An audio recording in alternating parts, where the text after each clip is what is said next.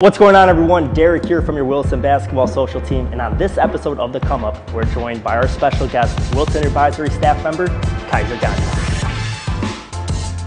The first photo right here from your Benton Harbor days. Those were the Carmelo Anthony days, like with the long shorts, the, um, you know, at the Syracuse. It reminds me because of the burnt orange. Um, I did some damage in high school with that ball, I will say that. The next part from your West Virginia. West Virginia kind of grew me into that womanhood. And then our last one here.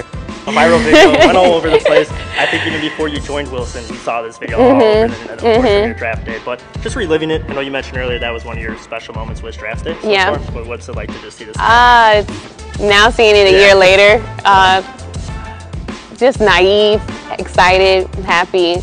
I remember looking on TV, I'm like, I'm really her. Like, that's me.